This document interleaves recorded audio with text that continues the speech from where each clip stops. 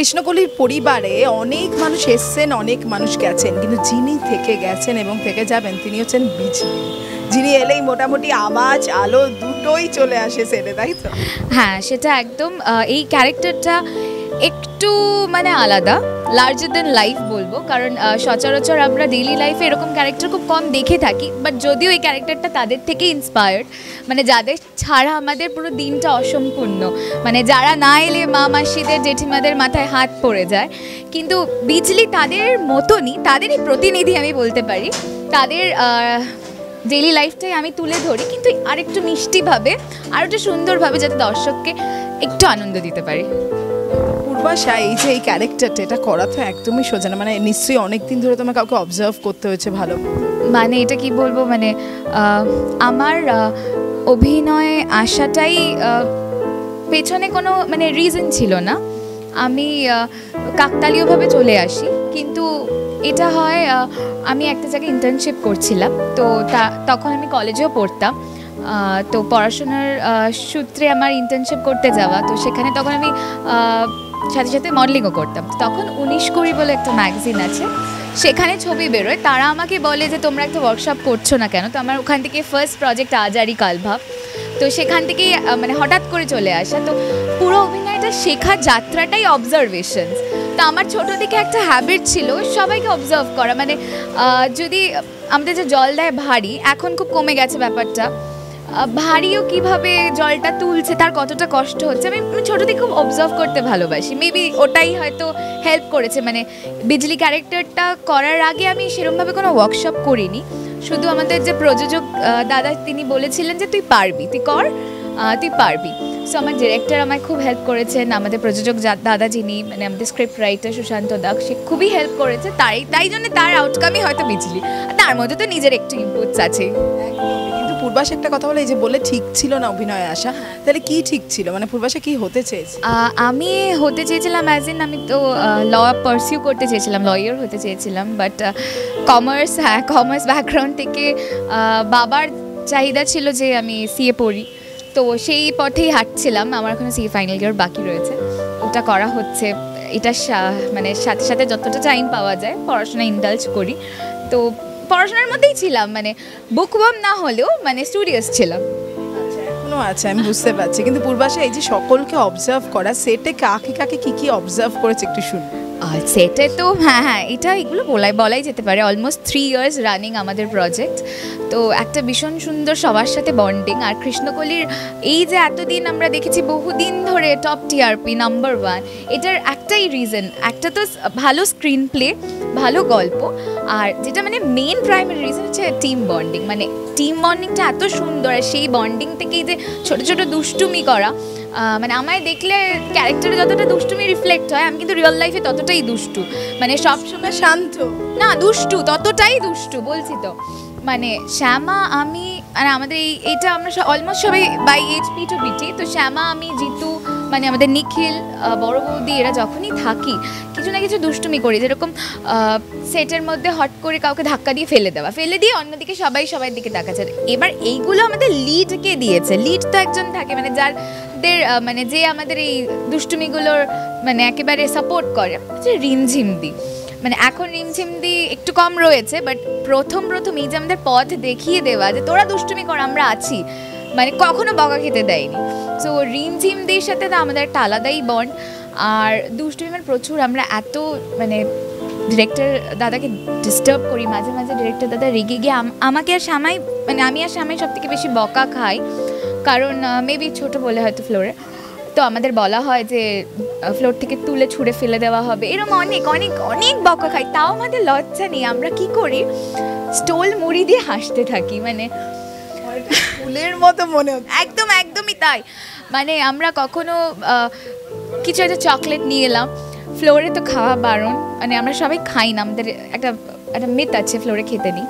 So আমরা মানিও। But চকলেটটা তো মানে খাওয়া হ্যাঁ ওটা এডিবল বললেও চলে। মানে ওটা তো একটা অন্য জিনিস ওটার জন্য সব কিছু ছাড়। চকলেট নিয়ে এলে বকে যাতে। ওই মুখ ঘুরিয়ে সিনের মধ্যেখানে টুক করে মুখে দিয়ে দাঁড়িয়ে থাকা এরকম চলতেই থাকে আমাদের দুষ্টুমি।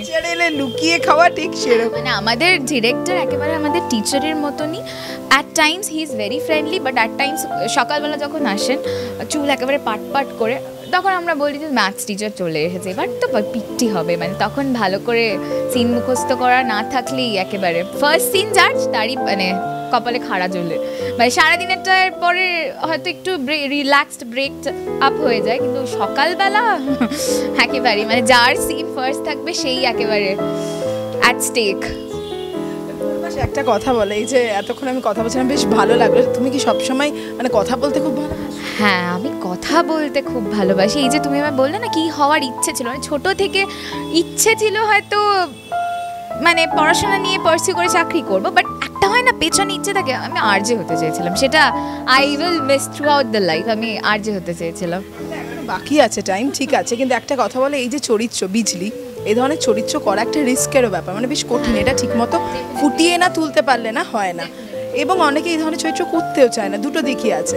তুমি নিজে কীভাবে কনভিন্স বিজলি ক্যারেক্টারটা ইনিশিয়ালি ক্রিটিক্যালি খুব ক্লেমড মানে অনেকেই আমাকে বলেছে, অনেক সিনিয়র অ্যাক্টর আমাকে খুব ভালো বলেছে, সেটা আমার বড় পাওনা।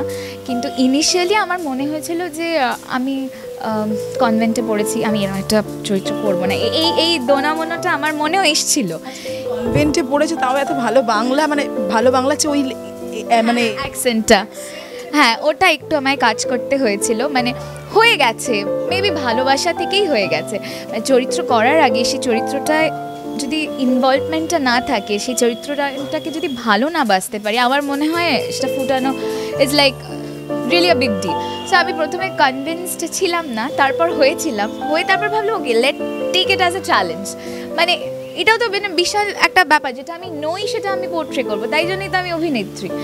তো সেটা করতে করতে হয়ে গেল, আর আমি একটা মজার ঘটনা শেয়ার করি। তখন কৃষ্ণকলি সবে বয়স এক বছর হতে চলেছে। বিজলি ক্যারেক্টার কোয়াইট পপুলার আমি ব্যাংকে গেছি। আমার পেছনে একটা জেঠু মতন কেউ দাঁড়িয়েছিলেন, উনি অনেকক্ষণ ধরে না আমাকে উকি মেরে দেখার চেষ্টা করছে মানে আমি কী লিখছি। ফার্স্ট ইনিশিয়ালি ভাবলাম উনি কি দেখার চেষ্টা করছে, আমার চেক অ্যামাউন্টটা কত বা কিছু। তারপর শুনলাম কিছু হয়েছে জেঠু। তো হি ওয়াজ লাইক তুমি লেখাপড়া জানো না, আমি তোমাকে হেল্প করব লিখে দিতে। আমি তখন রিয়েলাইজ করলাম যে মানুষ কতটা মানে রিয়েলিস্টিক ওয়েতে ব্যাপারটা নিয়েছে, এটাই তো প্রাপ্তি। তো শেষ করব কারণ ওদের সিন চলছে এবং ওকে আমাকে ছাড়তে হবে। কিন্তু শেষে যেটা বলছিলাম যে অবজার্ভ করা মানে কিছু সিক্রেটও বলা। একটু শুনি আমি শ্যামার একটা শুনব মানে আমাদের তিয়াশা শুনব। আচ্ছা শ্যামা সিক্রেট হচ্ছে শ্যামা মানে দেখতে ছোটোখাটো মানে ও হচ্ছে ছোটা প্যাকেট বড়া ধামাকা হ্যাঁ। দুষ্টুমি বুদ্ধিগুলো ওরই সব ব্রেন চাই। আমরা মানে ওই দুষ্টুমি বুদ্ধিতে ইনস্টিগেট হয়ে কাজগুলো করি। শ্যামা যেটা করে, ওর খুব গরম লাগে।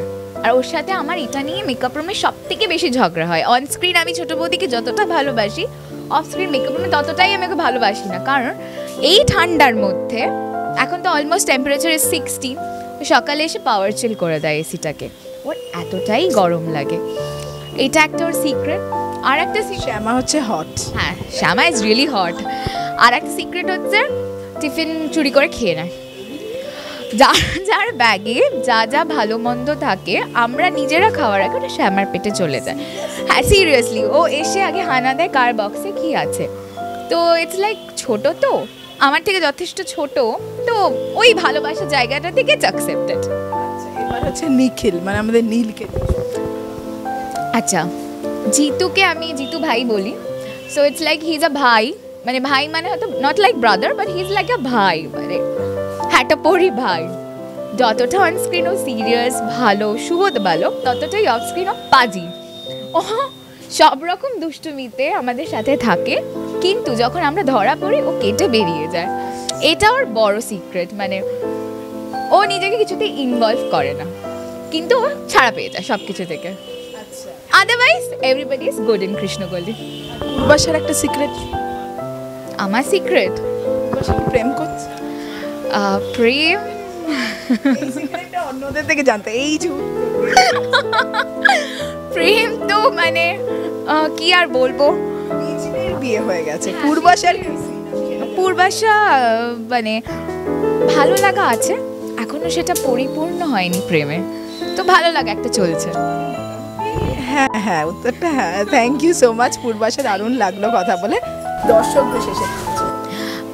এটাই বলব কৃষ্ণকলি এখন একটা ভীষণ টার্নিং পয়েন্টে এসছে। আপনারা প্লিজ সাথে থাকবেন, পাশে থাকবেন, যাতে আমরা গল্পটাকে আরেকটু এগিয়ে নিয়ে যেতে পারি, সুন্দরভাবে নিয়ে যেতে পারি। আর অনেক অনেক চমক রয়েছে আপনাদের জন্য যেটা যদি না দেখেন তাহলে মিস করবেন। কারণ এখন কৃষ্ণকলি বলা যেতে পারে তিন বছর পরে ক্লাইম্যাক্স টাইম এখন শ্যামা নিখিলের মিটিং টাইম কি করে হবে? তো সেটার জন্য বলব প্লিজ দেখতে থাকুন কৃষ্ণকলি, জি বাংলায় সন্ধ্যে সাতটায়।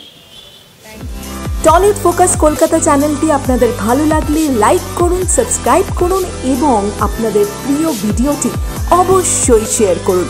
Tollywood focus Kolkata.